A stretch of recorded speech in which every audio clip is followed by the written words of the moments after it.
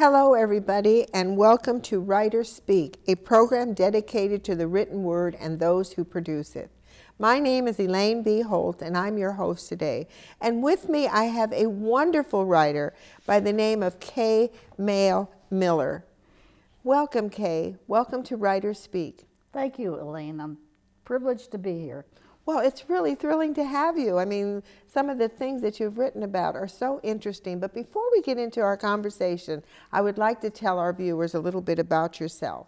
Kay Mehl Miller actually has a PhD, and in her past, way back when, she worked for the Salisbury Times and is a published freelance writer for the Baltimore Sun in, then in Maryland. My goodness, welcome to California. And I know you came to California in 1992, is that correct? That's right. Okay, and at that time you were writing for a publication called We the People. Right. And you had a column with them. I did. Talking It Over was the name of the column. Talking It Over? Mm-hmm. Oh my goodness, how wonderful. Listen, you know, I'd just like to give a little introduction because I know viewers really love to hear the personal side of people. So why don't you just tell us a little bit about yourself, other than what I've said, anything that you feel comfortable talking about? Well, I, I, feel comfortable telling you that I'm 77 years old and I uh, have written two books uh, since I've been to California.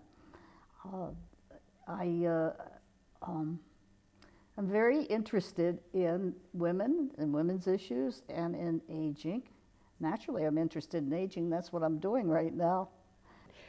Why is it that you're, you're so proud to announce that you're 77 years old? I think that's very interesting. Most women hide their age. You know, you seem to be very proud of it. Exactly.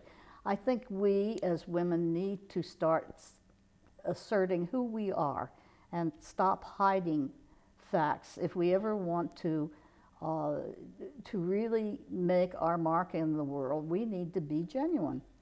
And so I think it's important that we say that we are as old as we are. And you look at me, I don't look 77. I don't talk 77. I don't act 77. But I am 77, and, and, and I'm glad that I can be energetic and alive and interesting at 77. Well, you're definitely an inspiration. I mean, you're my elder since I'm 72. I mean, it's always Good. wonderful. Oh, no, it's always wonderful when you meet a woman that's older than yourself, you know, yes. then you can say, oh, okay, there's something to look forward to. Well, look, and I know you wrote two books, and I'd like to start out with the first book, which I thought was very, very interesting as I thumb through it. It's called Talking It Over Understanding Sexual Diversity. And I understand that this book was written for yourself as you met the challenge of looking at the choices that your son has made. So I understand you have two sons, am I correct? Right, I have so two then one of your sons, I imagine, came out, and that was a challenge for Yes. you. One of my sons came out to me as gay, and, and I don't really see that as a choice. Um, this is the way God made him. And when he came out to me as gay, I, I felt that way, but I also felt like I had done something wrong, that I made him into a gay person. You know, how uh, Freud tends to blame mothers for all the things that happened to their sons and daughters. And, um, and so I felt guilty and I felt ashamed and I felt fearful for him. And I had a lot to learn. I, I, I, the one thing that I knew was that I loved my son. And I told him when he came out to me, it was okay because I did love him. And, um, and so as, as we started this journey of, of me learning how to cope with the homophobia that society had put within me, um, I began to learn. I began to learn things like, for instance, homo, uh, homosexuality isn't a choice. It's there. It's, it's part of, of your being, just like heterosexuality is. Anyway, uh, to fast forward this a little bit, uh, he had a, a partner whom uh, he uh, loves very much, and the partner got sick, so they moved from Hawaii all the way back to England, where uh, uh, Garrett could get health care, and eventually he did. He uh, he died of AIDS. And um, it was at, at, a time when people didn't talk so openly about AIDS. And Garrett, Garrett, his real name was Gary, but he went by Garrett. Um, Garrett just didn't tell anybody. He wouldn't tell Steve. He wouldn't tell me. And, and so we went through quite a lot with that young man, but it was very close to him. And after he died, I thought, somebody's got to tell his story. Well, I couldn't tell his story. I couldn't tell Steve's story, but I could tell mine all around the issues like coming, coming out and what parents go through and what happens when somebody gets sick and uh, with a disease that, uh, that, that makes you kind of a pariah. Um, so it's all in there. It's, it's all in there. Uh, that plus the fact that at the time I was um, uh, writing columns for uh, We the People and other uh, gay media. And so I have the narrative and I have the columns in that book. So you get a personal view and a global view. You know, one of the most interesting things, or the most important thing actually, that I think you said is that you loved your son. Mm-hmm. And that it was that love that kind of inspired you to move on and try to understand rather than judge. And right. I think that is so important. And then coming across, you know, with the illness and some of those challenges, again, the love. Right. I mean, I think I think in our culture, if we could just understand that love is accepting, accepting another human being right. for who they are. Absolutely. And like another thing that you said that I found was very interesting that I just want to restate for my uh, viewers is the fact that you recognize that this was what is you know, it wasn't even a matter of choice. This was who your son was. Right. And as a mother, that you had to understand it and yeah. learn to accept it in your own I, way. I always say that parents of gay children, uh, for parents of gay children, that the children don't have to change. The parents have to change. And that's what I, I have done. I changed and I became a bit, much better person because I have a gay son. Well, you know, that's a lesson for all parents, whether your child is gay or not, that that's you have right. to understand that this is a human being and this human being comes to earth with their own challenges, right. their own way right. of being, and all we can do is support them. That's right. Well, I'd like to just show the book here. Okay. It's called Talking It Over, Understanding Sexual Diversity, which I think is really, it's a very, very interesting book. And it's very touching. And, and I'd like to for you to note that this is a picture of family values. oh, okay. Picture of family values. It's a beautiful it's, it's John, picture. Uh, it's, it's my, uh, my uh, domestic partner, John, Steve, Garrett, and me, which, you know, I, might lead us into this next book. But they're just adorable. It's a wonderful, wonderful picture. Well, you know, the next book I think is really, really, really interesting, the second book, and it's called Living with the Stranger in Me, an exploration of aging. And you know, as I as I talk to you, you know, I have this this vision of my grandmother. My grandmother Eva Fagan was just a beautiful, beautiful woman, but as she grew older, she was very, very wrinkled. And I was about 16 years old at the time. And uh -huh. oh, my mother just had a fit when I came into the room with my grandmother. And I said, grandmother, I says, what does it feel like to be getting so old? You look so old. And she looked at me and she said, you know, my child, I look in the mirror and I see an older woman, but inside I feel like a younger, like a young girl still. And I said to myself, what the heck is she talking about? Well, now at 72, and I'm sure you at 77, sure. we can understand these things. Right. So, so why don't you tell our viewers, just give us a little background is what inspired you to write this book? I mean, not everybody is willing, number one, to admit their age, but to even talk about some of the challenges. So what inspired you to write the book? Well, well, living with the stranger in me um, is exactly what you said, uh, in your grandmother. Uh, inside, we are all maybe 16, maybe 30, maybe whatever it is our favorite age is. But then all of a sudden you look in the mirror and who is that stranger?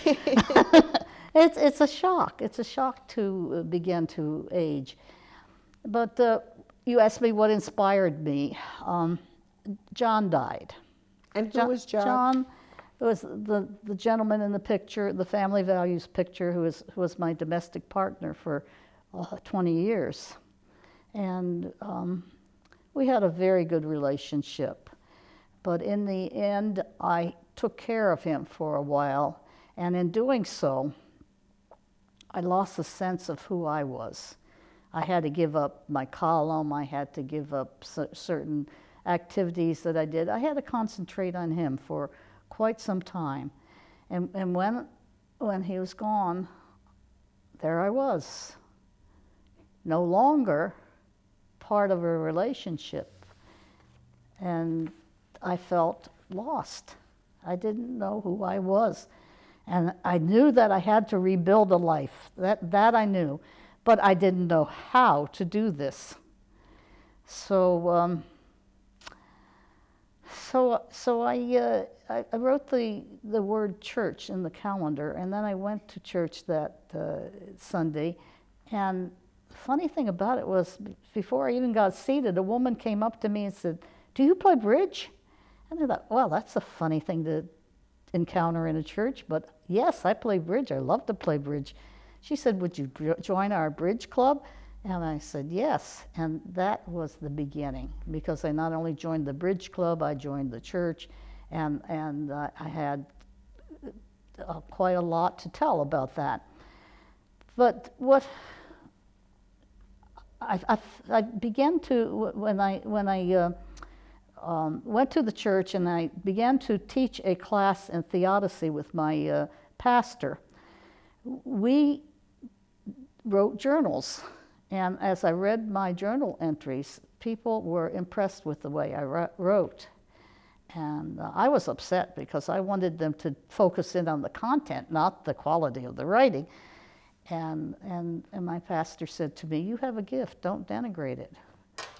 Well, you know, it, it's interesting though when you talk about not only the gift, but the fact that when you had this loss, that you were able to step outside of yourself. You were able to ask a few questions.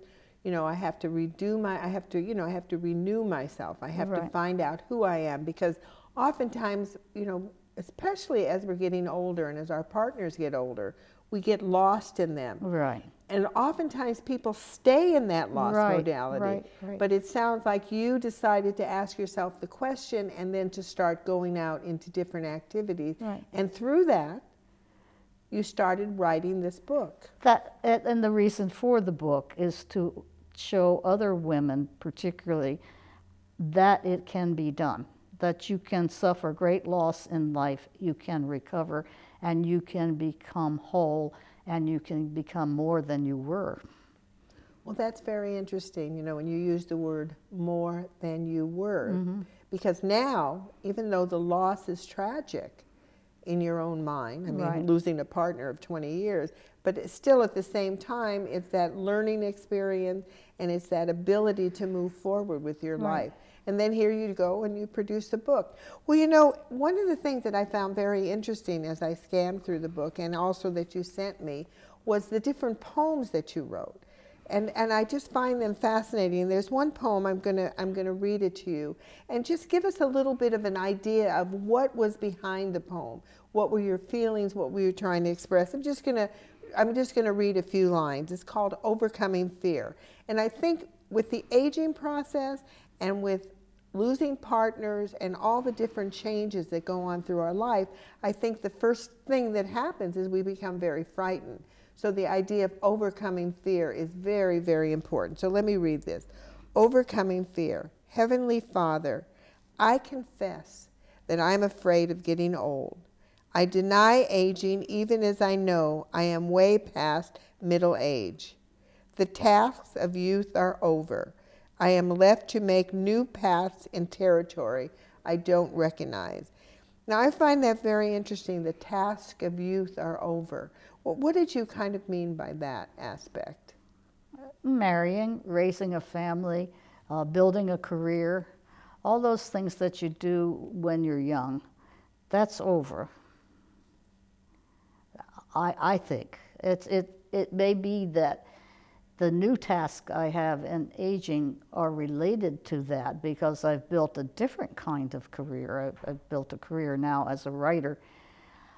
Uh, but it's not, it's not the same. It's, it's, it's, in, in, my, in my youth, it was for a purpose, to get these kids uh, raised, get them through college, uh, get enough money to run a household and, and, and so forth, you know, that kind of thing. Now it's more of a uh, inner journey, a journey of having something given to me by what I do. That's very that's very interesting. So that's what you're talking about when you say I'm left to make new paths and territories I don't recognize. Right. Well, in not recognizing are, are the new path that you made for yourself was of course writing this book. So you have your pastor and you have these people who are giving you feedback. Right. And then you decide, you know, you're going to write this book, right? And you're what were some of the at the beginning you know, when you're talking about you're left to make a new path and you feel the new path is towards writing this book, what were some of the challenges that you were faced with for yourself personally? Well, well, just the idea of writing a book. I had written one and I knew that it takes a lot of time and energy and that it, um, uh, it, it isn't easy to get published. There's a lot of uh, there are a lot of uh, parameters that, that that say don't write, don't write. Sit down and enjoy your life. You're you're in your 70s now. Uh, go take a trip, do something else. You know, don't write, don't write. And yet I needed to write. I needed to share this wonderful experience I had of rebuilding my life uh, because other people need to know about it. They need to know that it can be done. So, so it sounds like to me that you overcame a lot of your first challenge was overcoming that self-talk. Don't write. Don't you write. can't do it. You, You should be going on it. cruises. You're an older person. On and on and on. who do you think you are writing at your age? Right. that kind of thing. And, and all of that's gone by the board now because writing the book itself, I wrote it to present to the public and to tell my story. But guess what? It told me who I was. Well, you know, that's interesting that you say that, Kay, because, you know, I noticed even in, in, in producing shows or writing poetry, somehow the first thing is, oh, that's not important, nobody's going to like it, but then suddenly it starts to write itself. Absolutely. And then you're the one who, it's almost like everything we do is we write for ourselves, and that's what makes it so interesting to go out into the public because that's how we can relate. Mm-hmm. Would you agree or disagree with that? I, I agree totally. So the book kind of wrote itself for you, is that what Well, in, sounds in a way, it did. It, it, I, I would write a chapter, and I have a group that meets every Wednesday morning, a women's group. We've been meeting for years, so we know each other pretty well. And I'd take a chapter to the group, and I'd read it. And, and they would like it, but they'd say, oh, no, you're talking too much about John. Take that out. You got to talk about your feelings. Okay. And, and, or you, you got to be honest about that. You got to you got to tell them. I know you don't want to tell them about that, but you got to tell them. And so so every week I'd take this chapter, I'd read it, I'd go back and I'd rewrite it. I'd take it back, and they'd read it again, they'd, they'd nitpick it a little bit, and maybe I'd rewrite it again. And so my friends helped me write this book. Well, it's, it's more than your friends helping you write the book. It sounds like you, you, you live, you know, you reached another level of consciousness by being able to take a critique. You know, oftentimes we hold on Oh, when oh, we're yes. trying to, you know, Yes. the writer's journal, the writer's, excuse me, the writer's journey is very, very interesting. I mean, I find that for myself, that you're always stopping yourself. You know, or you don't want anybody to look at it because maybe they're going to say this or they say that. And you were willing to go out there and say, look, I really believe I have to bring this to the world, so to speak. Right. And now I want you to give me a critique and help me to improve it. Right. That takes a lot of courage. Would you agree? I mean, come on, sitting there. It may it, it, it, it takes it takes trust, I think. It takes trust because these people love me. But and, also trust in yourself. and trust in myself. And so, so I was able to, to put it out there for them, and they were able to critique me honestly. And we had, I was lucky. Not all writers have that. How long, by the way, did it take you to write the book? It took about a year. took about a year. Yeah. And where are you with the book right now? Are you trying to get? Are you? Is it in oh, this- bookstores? oh, yeah, it's it's on it's on Amazon.com. Uh, it's in a lot of the uh, coffee shops here in Sonoma County. I have a local distributor. Okay.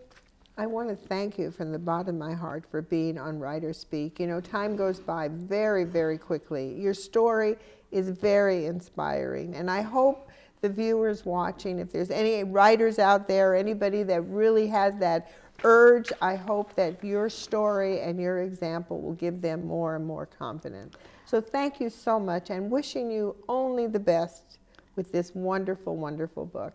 Thank you so much. It's a pleasure I enjoyed having you it. here. I enjoyed it. Thank you. Well, that was just inspiring to me as a writer myself, you know, just the idea of just getting the idea and just sitting down and doing it and allowing your friends to critique you. I mean, my goodness, that takes a lot of courage. But Kay demonstrated courage to us, and she also is a great example for anybody out there who wants to be a writer. Anyway, this is Elaine B. Holtz saying thank you so much for watching, and I will see you the next time.